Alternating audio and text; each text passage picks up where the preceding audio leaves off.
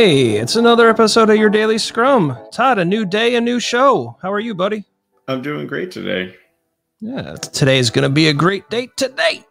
It is going to be a great day. Hopefully, it's a great day for everybody that's listening.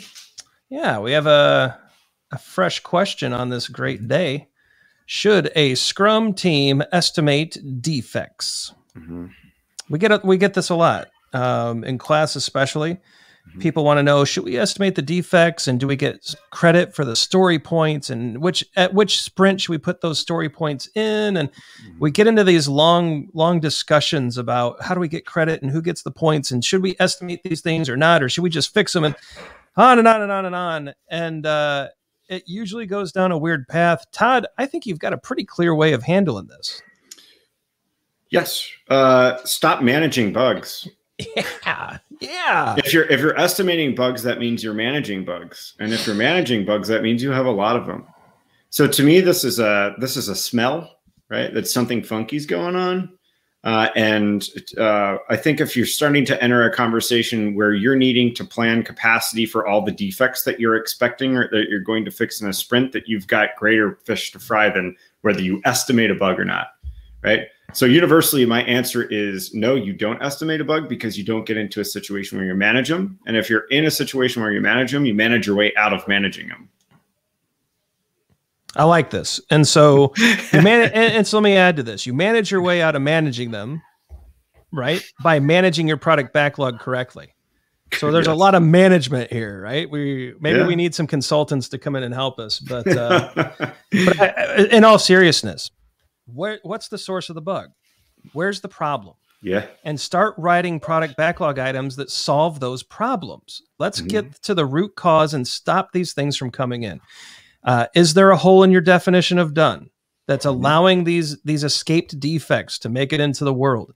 Get to the root cause of what's causing these defects. Start solve put you know what estimate those product backlog items that solve the root cause get those product backlog items implemented, and then watch the defects disappear. Yeah. Yeah. Right. Figure out the dark corners of your application and you know just stop managing bugs. I I think that uh, I think that maybe some people are going to be disappointed in the fact that we didn't answer this. I, I guess we did answer it. Don't don't estimate them because you're managing them then. Yeah, just yeah. Uh, solve the issues. Like if there's bugs you need to do, then take care of them. Stop worrying about which sprint and who gets credit for velocity. If velocity uh, like if you're worried about credit, then someone's managing to a particular velocity, and that's a whole other anti-pattern that we'll cover in another video, right? Because that's that's an even that's a that's a big mistake as well. Now you're managing bugs and you're managing to velocity. That's the double management whammy we all want to avoid. No whammies, right? Yeah, no whammies. no whammies. Like you're hitting the button, right? You know, I'm also to put that in in Kanban in the Kanban world too. You know, we get asked the question as to whether you include uh, the um, the cycle time of a defect in your um, in, in when you, when you're doing an SLE calculation, right? Whether you're when you're coming up with a probabilistic forecast for a service level expectation, I, I, I still feel the same way. You're you're you're managing a bug, right? Like I I um yeah, I still feel I, I still feel the same way. So we're still probably going to see. Uh, it's interesting you shifted over to Kanban just real quick. That that work item is still going to shift and go through our system, mm-hmm, mm-hmm. right? But uh, it's one of those where you kind of feel bad about that one going through. Mm-hmm. It's like, why is it in there? And so, yeah. like we said, we'd rather you get to the root cause. We'd rather you use a nine whys, use an excellent liberating structure to facilitate a great conversation, help your team get to the root, create product backlog items that solve the root issue mm-hmm. and get those talk to the product owner, get those negotiated higher up in the order and get those things smashed. Yeah. We smash bugs just like we smash like buttons. yeah, that's right. right. We smash bugs like like buttons. Yeah. So, and uh, I like your point too to seal the deal on it, right? Um, figure out the dark corners of your application, um, where these are coming from, and and fix it.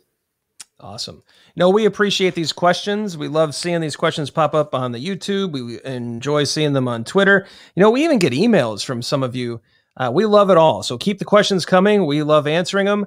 Be sure to smash that like and subscribe button, just like we smash bugs, so that you know when the next video is coming out. We release frequently. We've got fixing your Kanban, fixing your Scrum, your daily Scrum, Craft Brewed Agile, Agile for Humans, the core uh, flagship podcast that started it all Videos are coming fast and furious these days, and we want to make sure you catch all of them. There's also some links and videos below for you to keep going. If you want to get stuck in a YouTube wormhole for the next hour, we're going to make it easy. And so hopefully you get some good value out of that. And uh, you know what? That's today is your daily scrum. We'll probably see you Yeah. tomorrow. So let us know what you think. Leave us those comments below. Cheers.